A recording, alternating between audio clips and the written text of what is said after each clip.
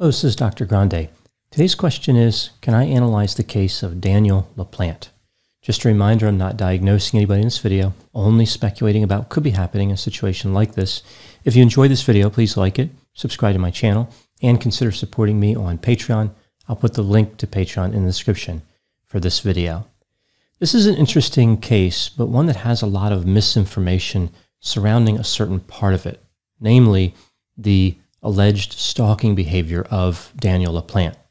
The original story appears to have been expanded into a number of fanciful narratives, and it can be difficult to know what is true and what is false in reference to this case.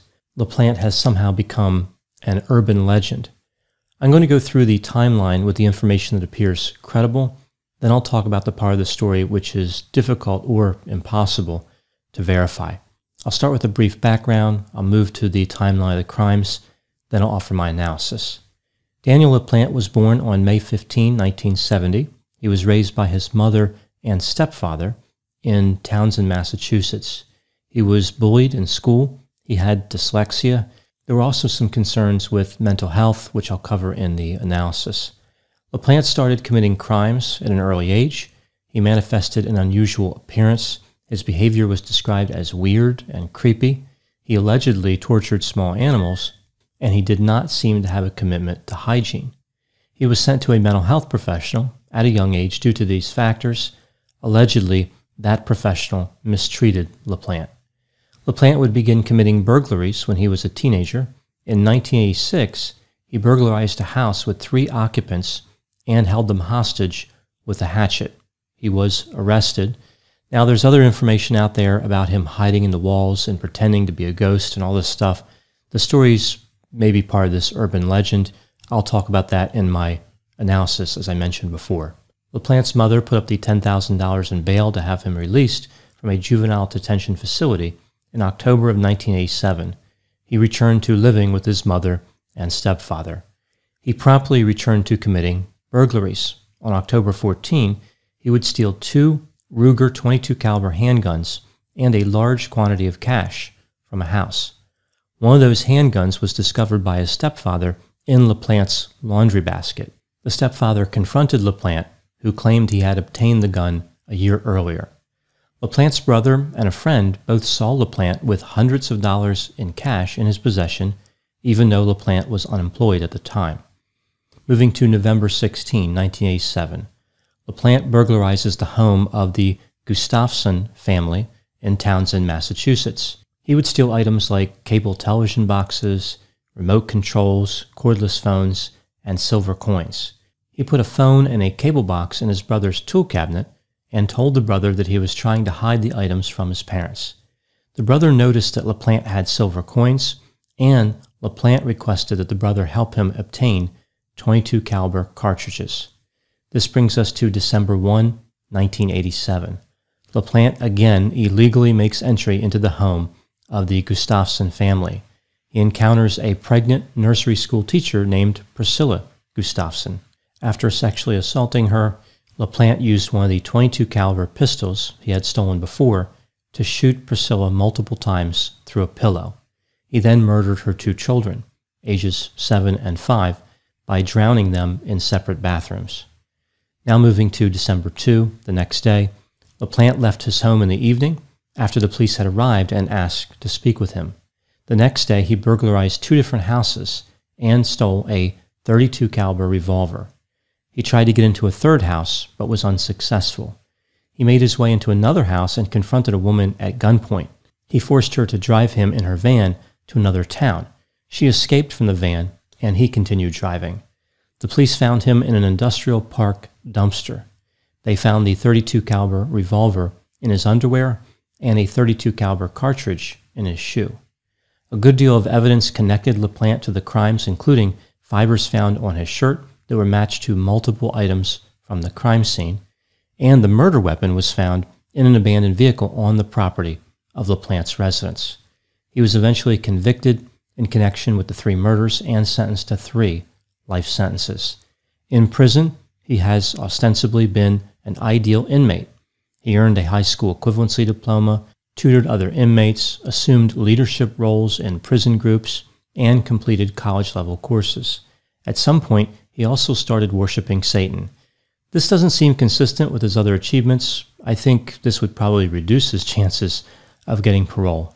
In 2017, LaPlante asked for a sentence reduction at a resentencing hearing. He had been in prison for 30 years, and he thought it was time to be released. A mental health professional testified that LaPlante was not remorseful and had no emotions.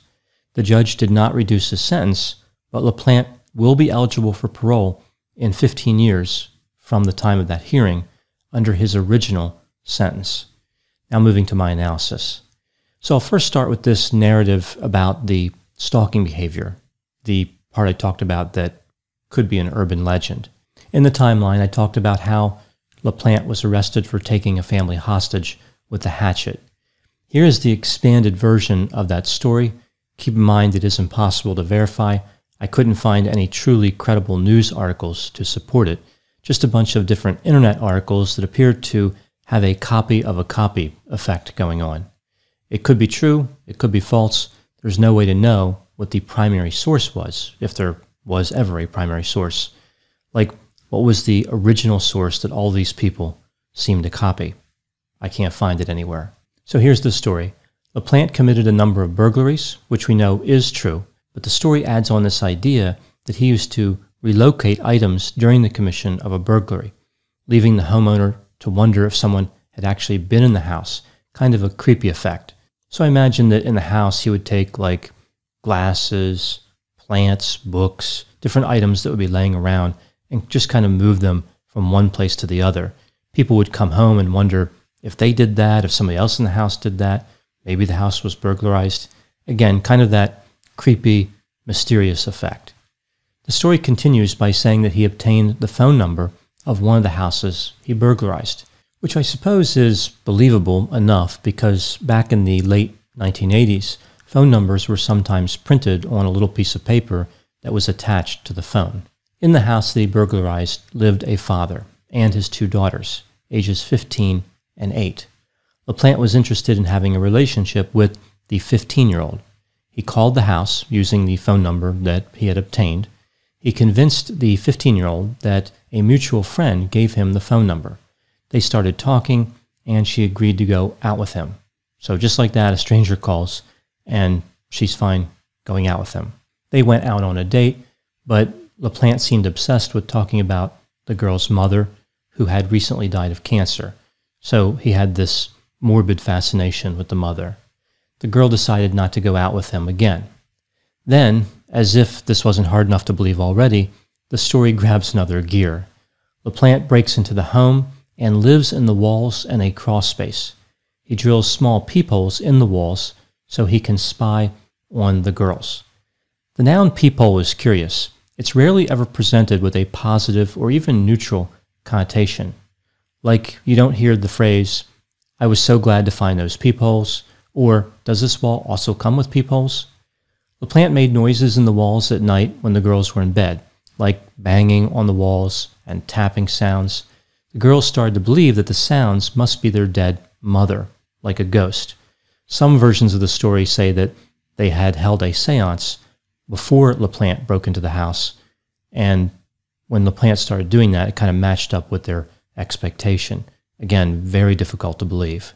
Again, thinking that their dead mother was a ghost wandering in the house, they would ask the walls questions, and LaPlante would respond with more noises, arranged in a way to act as if he was answering on behalf of the mother. Like he responds by making a noise right after they ask a question. So they might say, tap one time for yes and two for no or something like that. I don't know what he was supposed to be communicating. I doubt it was something like Morse code, but just some type of acknowledgement to respond to what they were saying. Now, the girls tell their father what's going on, and he gets angry at them, thinking they're just making all this stuff up.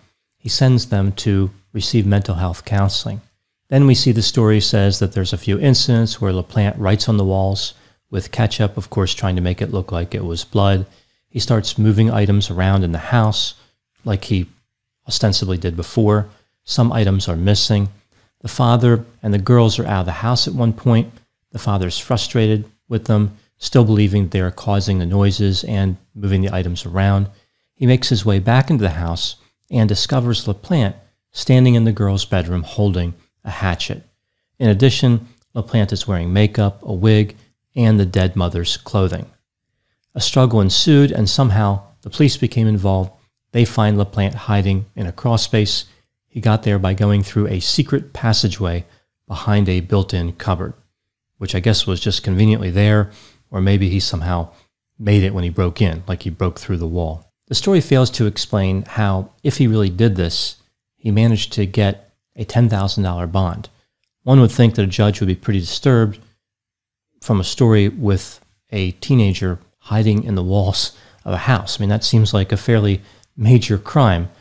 So magically, I guess he gets a very soft judge who's like, oh, yeah, I used to do that when I was a kid, and just lets him go on $10,000 bail. The story also fails to address a lot of other issues, but I'll talk about that in a moment. I'll offer my thoughts on the verifiable part of the story, and then I'll move to examining the urban legend part, or whatever it is.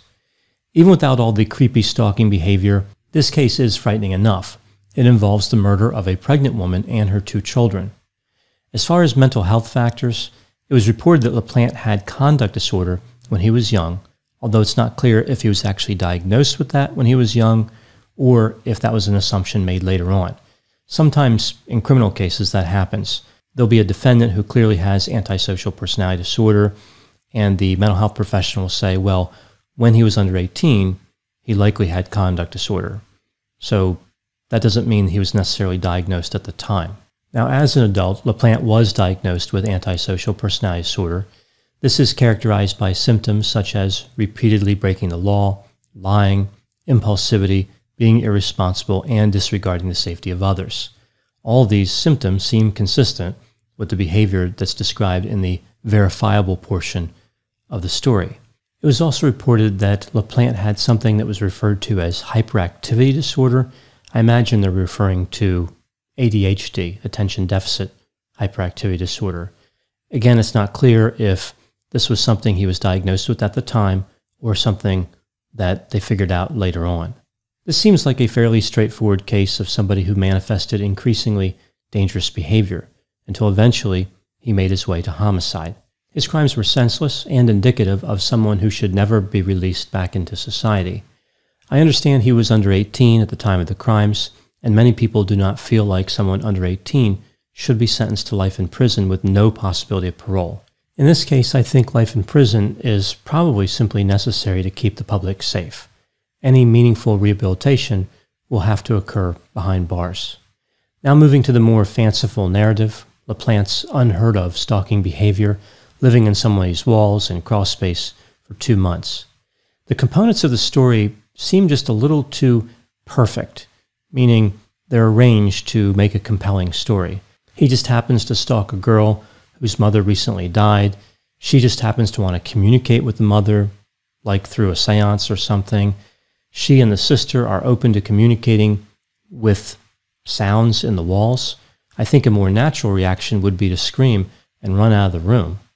Then, of course, there's this whole idea that LaPlante is living in the house for two months. I guess he could have snuck out and eaten their food and used their bathroom, but there would still be a lot of downtime. I would think that it would get pretty boring just staying in the walls and the crawl space, and I imagine sleeping in there would be fairly uncomfortable. LaPlante doesn't strike me as having the patience to pull off this type of crime over a two month period. He was highly impulsive, yet we're supposed to believe he was willing to just hang out there for two months and make these different noises and terrorize the people while kind of laughing to himself. Essentially, we're supposed to believe that he impersonated a ghost for all this time.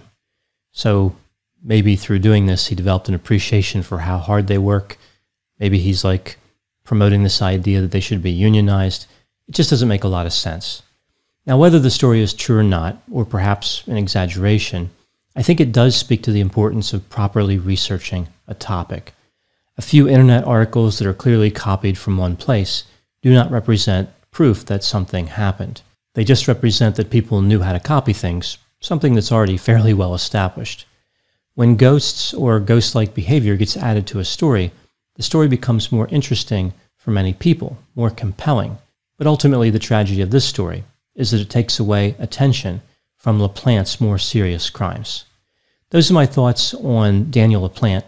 Please put any opinions and thoughts in the comment section. They always generate an interesting dialogue. As always, I hope you found my analysis of this topic to be interesting. Thanks for watching.